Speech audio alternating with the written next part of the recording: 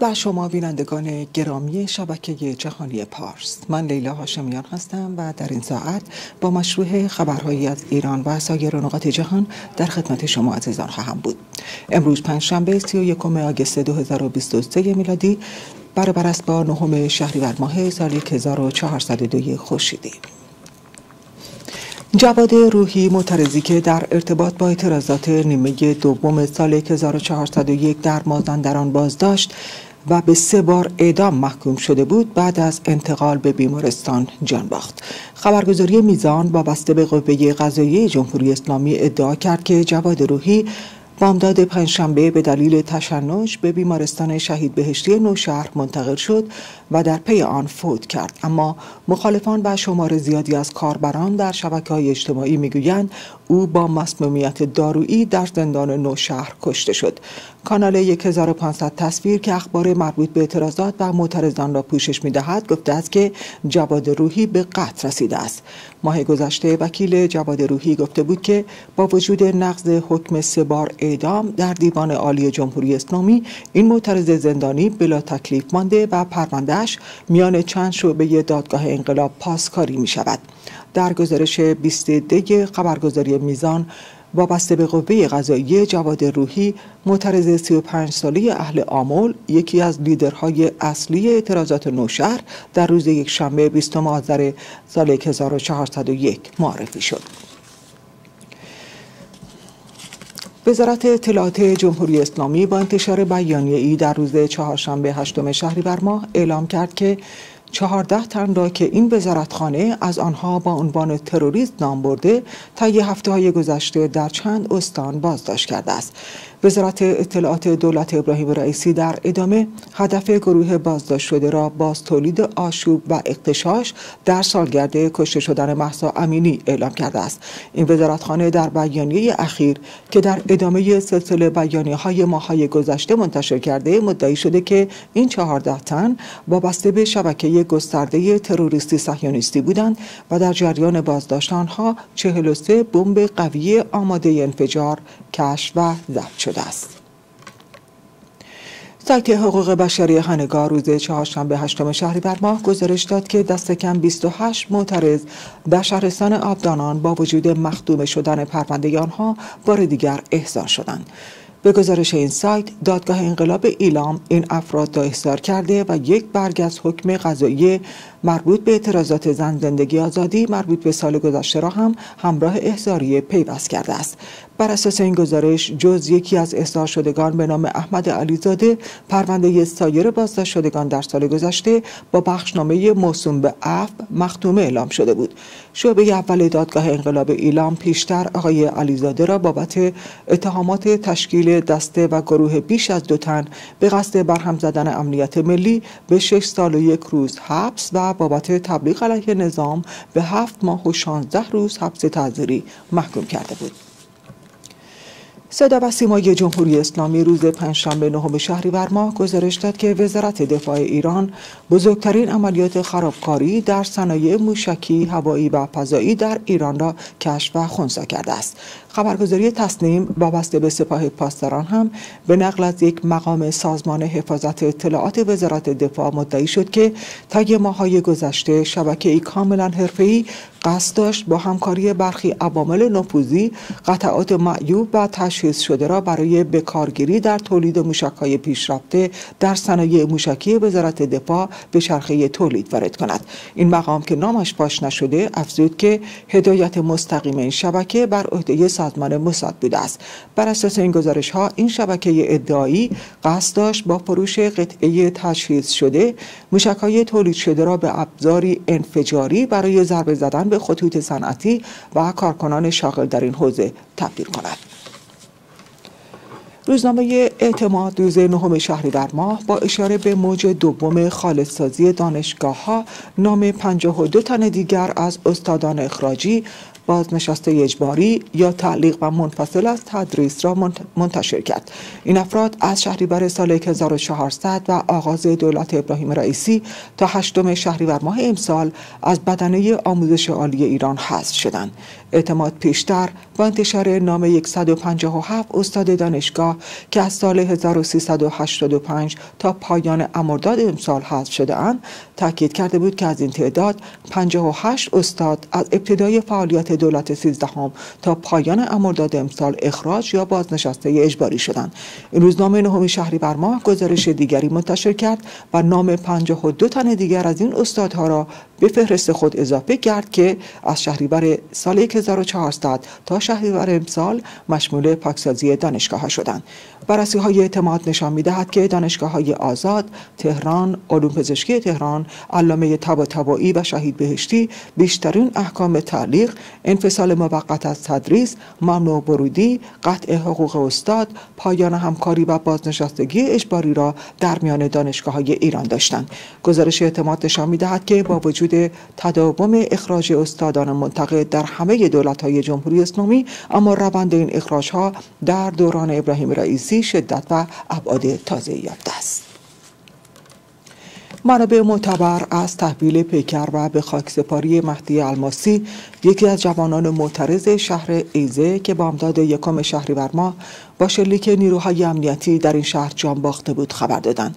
بر اساس اطلاعات منتشر شده مهدی الماسی بامداد پنجشنبه نهم بر ماه تحت تدابیر امنیتی و تنها با حضور خانواده او به خاک سپرده شد.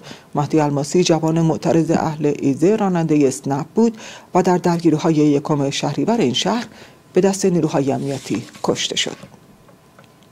در آستانه سالگرد قتل حکومتی محسا امینی در بازداشت گشت ارشاد نهادهای امنیتی جمهوری اسلامی و مدیران دانشگاه ها از اجرای طرح مجازی شدن کلاس ها تا دهم شهریور ماه خبر دادند. همزمان در بسیاری از دانشگاه ها از جمله دانشگاه علامه دانشگاه امیرکبیر و دانشگاه علوم پزشکی زنجان همچنان برای شماری از دانشجویان معترض احکام زندان و تعلیق از تحصیل صادر شده و موج اخراج و تعلیق اساتید حامی اعتراضات همچنان ادامه دارد. صبح روز 31 آگست برابر با نهم شهریور ماه سال 1402 در استانه سالگرد کشته شدن محسا امینی رها اخوان استاد دانشگاه در استانبول و شناگر حرفه‌ای ساعت 7 و 30 دقیقه صبح به وقت شرق آمریکا شنای ده ساعته خود را آغاز کرد. این شنا در حمایت از زنان ایران و برای کمک به آسیب دیدگان از ناحیه چشم انجام می شود رها اخوان طی ده ساعت ساعت بایستی 48.5 کیلومتر را به یاد محسا امینی زنان ایران و خصوصا آسیب دیدگان از ناحیه چشم که در اعتراضات سراسری سال گذشته چشم یا چشمهایشان هدف شلیک سرکوبگران قرار گرفت شنا کند. وی از زیر 20 پل خواهد گذشت و کل جزیره منحتن را دور خواهد زد. در این مسیر یک قایق پشتیبانی و یک مربی از سازمان آبهای آزاد نیویورک رها را همراهی خواهند کرد. طبق قوانین شنای ماراتون رها از ابتدای ورود به آب تا پایان شنا از دست زدن به قایق کایک یا هر شخصی منع می شود. همزمان با شنای رها اخوان این استاد دانشگاه برای حمایت از آسیب دیدگان از ناحیه چشم و همچنین کمک های درمانی به آنها اقدام به جمعآوری کمک های مردمی کرده است. ترانه علی دوستی بازیگر سینمای ایران در واکنش به بازداشت مهدی یراحی هنر اعتراضی را حق هنرمندان دانست و خواستار آزادی او شد. خانم علی دوستی چهارشنبه شب روی حساب اینستاگرام خود یک ویدیو از مهدی یراحی منتشر کرد و خواستار آزادی او شد. و همچنین با بازنشر یادداشت خود از امرداد سال 1401 نوشت این بگیر و به بندها و ممنوعیت ها و خشونت های آشکار و پنهان با صندلی بازی های شما کم و زیاد می شود روزی هم تمام می شود اما جلوی روند پویایی فرهنگ و هنر یک اقلیم را نمی‌گیرد. ترانه علی دوستی خود از جمله هنرمندانی است که در یک سال گذشته از معترضان حمایت کرد و مدتی بازداشت شده بود. رانندگان ارجمند در این لحظه توجه شما را به پایین پایه بازرگان میشم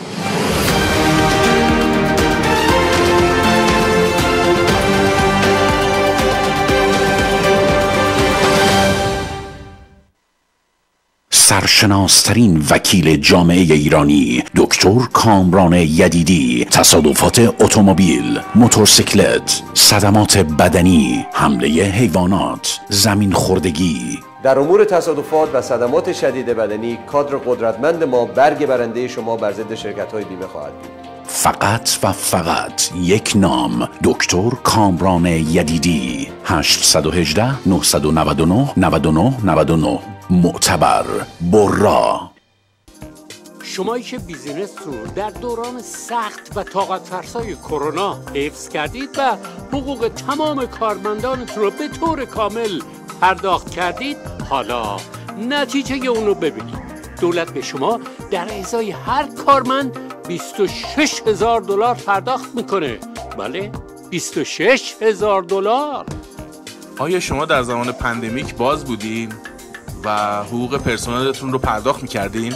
بله ما در زمان پندمیک باز بودیم و به همه کارمندا و کارگرامون حقوق پرداخت می‌کردیم و همه اونها روی پیرول بودن.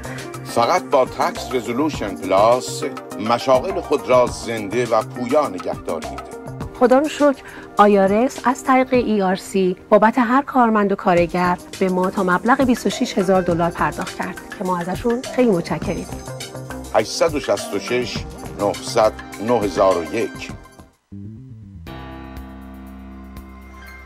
پنیر پیکنیک تهیه شده در اتریش از شیر کاملا طبیعی یکی از پرطرفدارترین محصولات کراجان می باشد. در هر سن و سالی که هستید صبحانه نهار و یا شام خود را با پنیر سالم و مقوی پیکنیک تکمیل تر کنید. پنیر پیکنیک را می توانید از تمام سوپرمارکت ها خریداری کنید. پنیر پیکنیک بهترین بهترین ها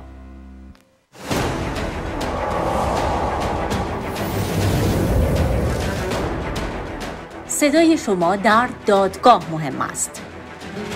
هموطن شما برای حل مسائل قانونی و رسیدن به حقتان در دادگاه های ایران نیاز به وکلای جوان پویا و خوشنام دارید رفع مصادره املاک طبق اصل 49 قانون اساسی.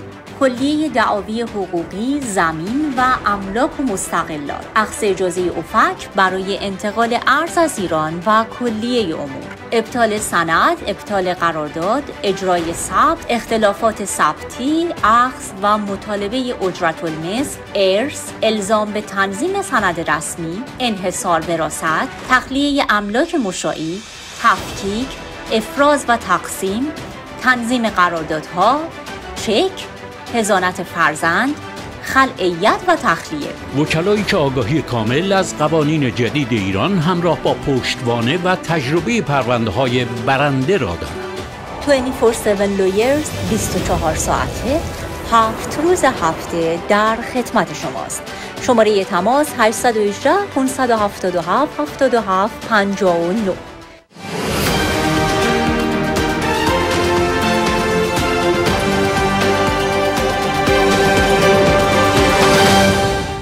توجه شما را به ادامه خبرها جلب می کنم.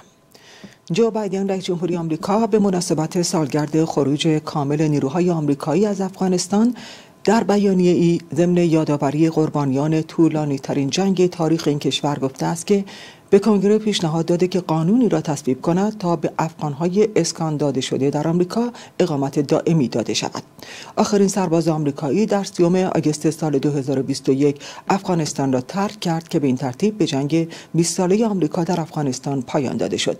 رئیس جمهوری آمریکا در بیانیه خود گفته است که بیش از 117 هزار افغان را از زمان بازگشت طالبان به قدرت پناه داده است. بایدن اضافه کرده همانطور که به مدت 20 سال در مأموریت ما در افغانستان مشارکت داشتند متحدان افغان ما همکنون در سراسر سر کشور ما مشارکت گسترده ای دارند. همانطور که آنها در کنار ما ایستادند من همچنان متحد به ایستادن در کنار آنها هستم. از جمله از کنگره می‌خواهم که قانون اسکان افغانها را تصویب کند تا بتوانیم راهی برای اقامت قانونی دائمی برای دوستان و همسایگان افغان خود فراهم کنیم.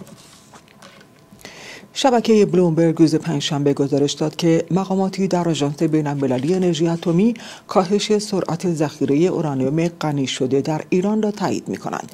به نوشته این خبرگزاری محدود شدن انباشت اورانیوم غنی شده ایران نتیجه توافق اخیر غیر مستقیم میان دولت‌های آمریکا و ایران است. این گزارش حاکی است که بازرسان آژانس بین‌المللی انرژی اتمی که در دوره اخیر در حال کار بر روی تهیه گزارش فصلی پادمانی ایران بودند تا آن را به شورای حکام آژانس ارائه کنند داده هایی را تایید می کنند که حاکی از تعدیل و محدود شدن سرعت غنیسازی اورانیوم و انباشت آن است. نشست فصلی شورای حکام روز 20 شهریور ماه در بیان مقر آژانس آغاز خواهد شد. دولت آمریکا می‌گوید شبکه ای را شناسایی و متلاشی کرده که قصد قاچاق افراد از ازبکستان به ایالات متحده را داشته است. آدیس واستون سخنگوی شورای امنیت ملی دولت آمریکا در بیانیه ای با اعلام این مطلب تاکید کرد که دست کم یکی از اعضای این شبکه با یک گروه تروریستی خارجی در ارتباط بوده است. در ادامه این بیانیه آمده که مقامات آمریکایی معتقد نیستند که اتباع ازبکستانی که از این شبکه قاچاق استفاده می‌کردند ارتباط تروریستی داشته یا در حال برنامه ریزی حمله تروریستی بودند. در بیانیه دولت بایدن نام این گروه تروریستی خارجی مشخص نشده اما یک مقام آمریکایی که نخواست نامش فاش شود به آسوشیتد پرس گفته است که این گروه داعش است در خبر دیگر خبرگزاری رویترز از صدور حکم حبس ابد برای یک, یک ایرانی و چهار عراقی عضو یک گروه شبه نظامی به جرم قتل یک شهروند آمریکایی به نام استفان تروئل خبر داد. آقای تروئل معلم زبان 45 ساله نوامبر سال گذشته در بغداد هدف گلوله قرار گرفت و کشته شد. همان زمان منابع عراقی اعلام کردند که افراد مسلح در تلاش برای رو بودن او بودند. گروه شبه نظامی اصحاب کهف مسئولیت این قتل را بر عهده گرفته و اعلام کرده بود که این اقدام برای انتقام خون قاسم سلیمانی فرمانده سابق نیروهای قدس سپاه پاسداران بوده است. خبرگزاری روترز از قول منابع غذایی گزارش داده که فرد ایرانی که همراه با چهار تن به حبس ابد محکوم شده مغز متفکر جنایت قتل آقای ترول بوده است. ساعتی بعد از کناره‌گیری بن والاس وزیر دفاع بریتانیا نخست وزیر این کشور گرنت شاپس از اعضای کابینه را به عنوان وزیر دفاع جدید بریتانیا منصوب کرد. والاس صبح پنجشنبه کناره‌گیری خود را به اطلاع ریشی سوناک رساند و او هم با این درخواست موافقت کرد. به نوشته سکای نیوز گرنت شاپس در حالی به وزارت دفاع بریتانیا رسیده که عضو کابینه سه نخست وزیر اخیر بریتانیا بود. او در دولت بوریس جانسون مدتی وزیر حمل و نقل بود. در دولت لیز تراس وزیر کشور شد و در آخرین سمت قبل از رسیدن به وزارت دفاع در دولت سوناک وزیر انرژی بود.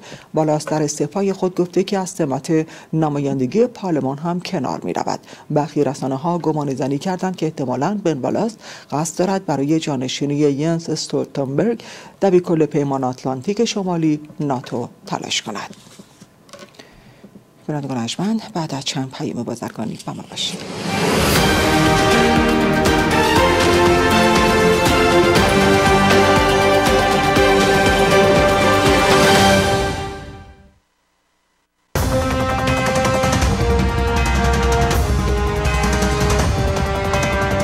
درست انتخاب کنید. هیدریلا گروپ وکیل رسمی دادگاه های کالیفرنیا و نوادا. سامان حیدری و همکاران متخصص و برترین در تصادفات و صدمات شدید بدنی. رایدشر Uber، Lyft، truck و موتورسیکلت با کارنامه درخشان دریافت میلیون ها دلار خسارت از بیمه ها دفاتر سامان حیدری Heidari Law Group در شهرهای لس آنجلس، ایرواین، ساکرامنتو و لاس وگاس. 818 818 07 07 heidarilawgroup.com با ریسیورهای خود کلنجار نروید. جلباکس HD 500 کامل ترین و ساده ترین ریسیور اینترنتی بدون نیاز به دیش. با بیش از 800 کانال تلویزیونی به زبانهای فارسی، ارمنی، ترکی، دری، آشوری، آذری و کلیه رادیوهای فارسی زبان و بیش از یک میلیون ساعت فیلم و سریال با warranty و قابل استفاده در سراسر جهان. برای سفارش با شماره 818 451 5678 همکنون تماس بگیرید. Westside Medical Pharmacy در 11 968 Wilshire بولوار در خدمت جامعه ایرانی. داروخانه Westside Medical به مدیریت دکتر سهیل کاتوزی با همکاری تکنیسیان های مجرب و ارائه واکسن های روز تحویل رایگان دارو به منازل شما در همه مناطق به خصوص بورلی هیلز، ولی، وست الی و سانتا مونیکا. دوشنبه تا جمعه ده صبح تا پنج بعد از ظهر. تلفن 310 441 1200 داروهای گیاهی دکتر سهراب خوشبین نیز در وست ساید مدیکال فارمسی موجود است. شرکت طلوع عدالت املاک منوچهر معتمر و همکاران با همیاری وکلای رسمی دادگستری و متخصصین املاک مصادره شده در ایران دیگر نیاز به خروج از منزل و یا مراجعه به واشنگتن را ندارید. اخذ گذرنامه تنظیم وکالتنامه فروش در یک هفته تنظیم صلح نامه انحصار وراست و مالیات بر ارث تنظیم وکالتنامه های کلی و کاری. امور بانکی صلح عمری فقط در یک هفته. دریافت حقوق بازنشستگی ثبت ازدواج و طلاق ایرانی. اخذ شناسنامه و کارت ملی در اسرع وقت. اخذ مجوز افک و نقل و انتقال ارز به آمریکا. شرکت طلوع عدالت املاک. تلفن تماس 949 202 72 88 949 202 72 88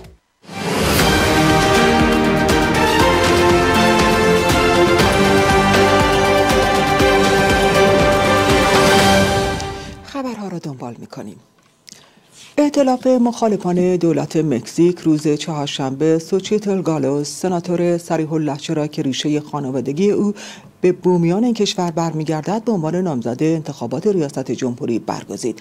پیروزی سوچیتل گالوز یا کلادیا شینبام رقیب احتمالی او به عنوان نامزد حزب حاکم در انتخابات سال آینده به این معنی خواهد بود که مکزیک برای اولین بار یک رئیس جمهوری زن خواهد داشت. سوچیتل گالوز 60 ساله یک مهندس کامپیوتر و تاجر خودساخته است که توانست در نظرسنجی ها از دیگر نامزدهای مخالف دولت پیش بیفتد.